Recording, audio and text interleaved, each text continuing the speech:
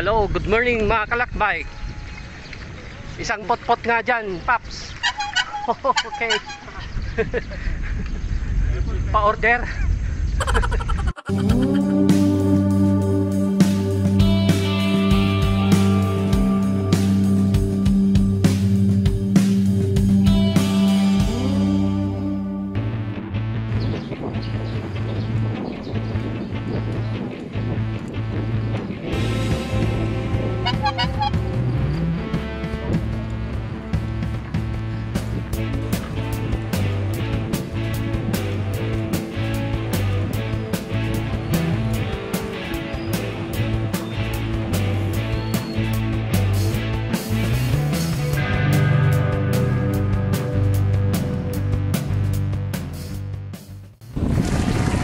Morning, lakbikers! Dahil nga sa pagdami ng mga COVID cases dito sa Nueva Vizcaya, minabuti namin na umidal sa mga lugar na kukunti lang ang tao para iwas exposure. Ngayong umaga pupunta tayo sa Kabuluan, Villaverde. Sa inyong harapan makikita ninyo ang Singyan Mountain. Actually meron ding rota dyan papunta. At uh, one time pupuntahan natin yan. Kasama ko yung umaga dalawa sa mga kalakbike natin. Sina Kuya Ramuel at saka si uh, Pops Marvin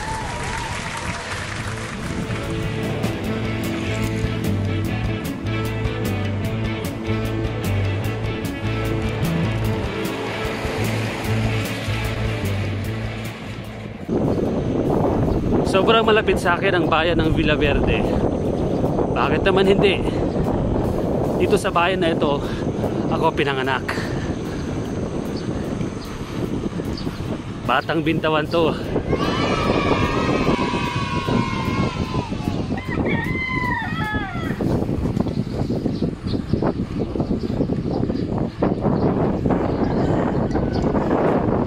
Lusot, Paps? Lusot. Lusot sa checkpoint?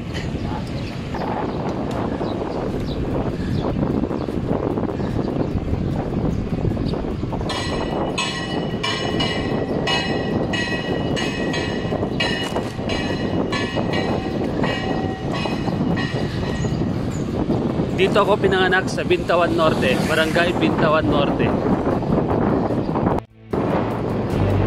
Kaya laging nauna si Kuya Robs kasi naka-road bike eh. Grabe! Sana ako naka-road bike. Woo!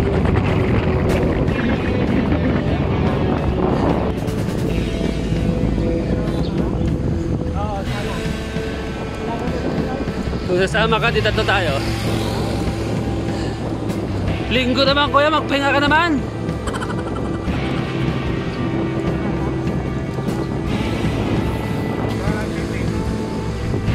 Rough road dun kuya. Rough road na sa Queen.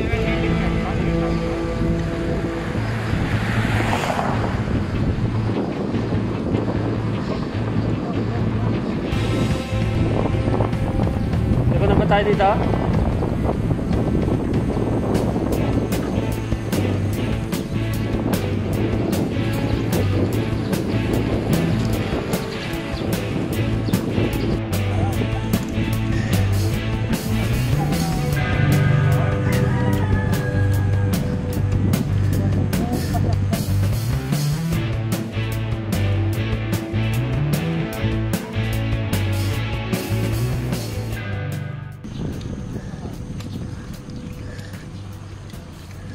Approaching na tayo sa nagbitin proper.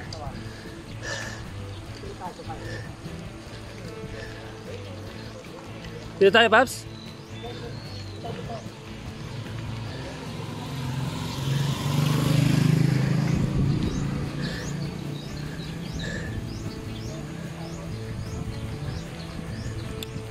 At dito rin sa nagbitin ang hometown ng aking uh, may bahay si Eli.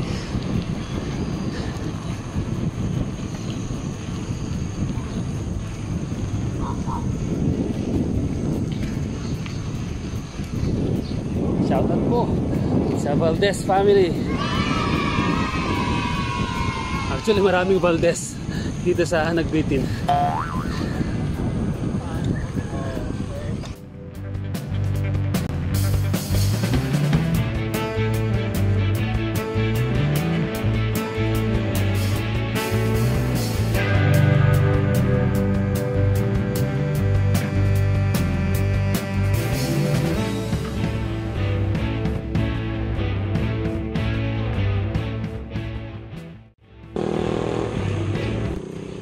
Umalis kami ng Solano mga lampas alas 5 at dumating kami dito sa bungad ng Kabuluan. Lampas alas 6, so mga isang oras na padyak ito. At ah, tumawag si Partner Goys, Dora, at gusto niyang sumama daw. Nahabol siya kaya hintayin namin siya rito bago kami tuluyang umahon.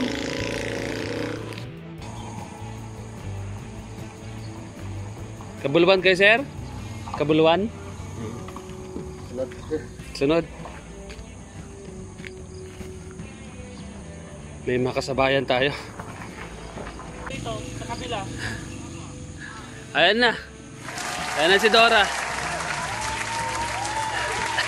Bakit lumampas ka? Baka may yung tayo. Pananangay na tao. Dumatikal nila lang. Tira a.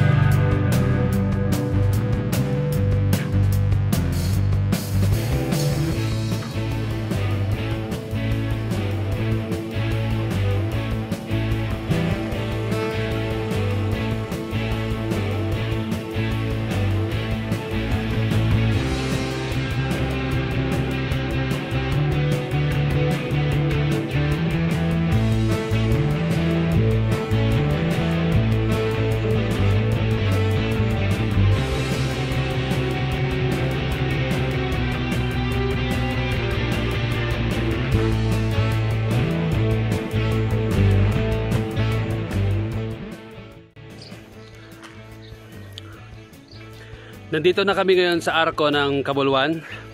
So welcome to Barangay Kabuluan, Villa Verde, Nueva Vizcaya. Grabe. Sobrang ahon. Hiningal kami. Partner, nagre-recharge ng tsokolate.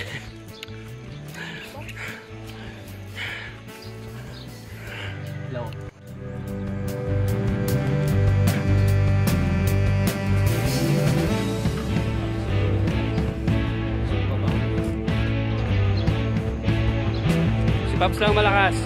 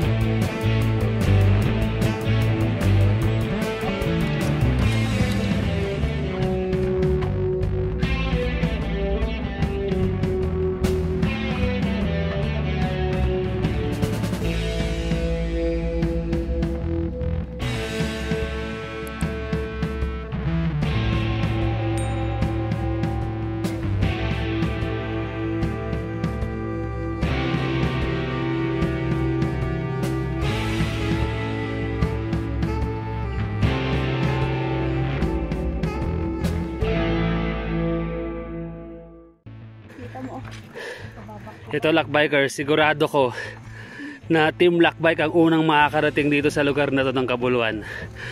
Makikita nyo naman, ginagawa pala yung daan.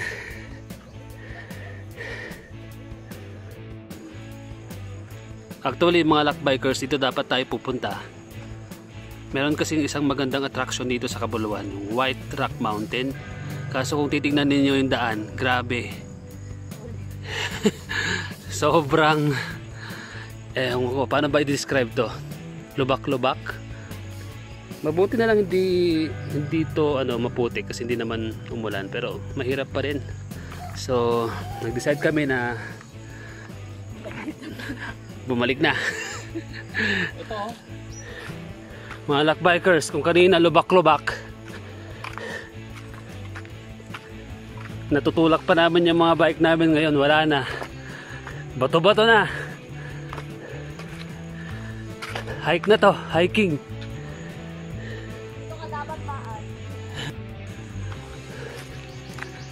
Makipot na daan. Mabato.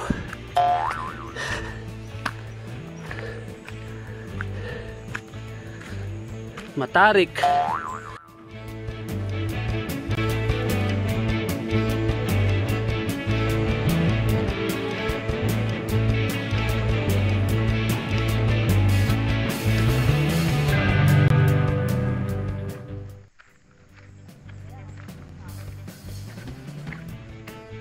Yan yung abandoned house. Pinagsushootingan dito ng kwan horror. Pinagsushootingan ng horror yan.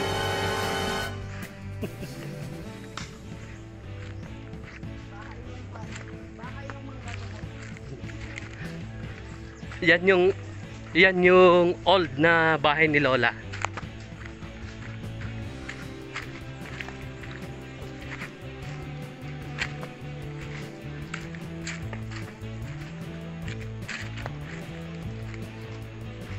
Dito tayo mag-transient.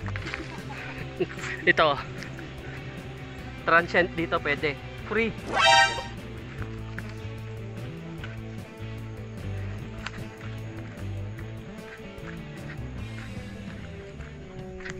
Pagod yung mga bike.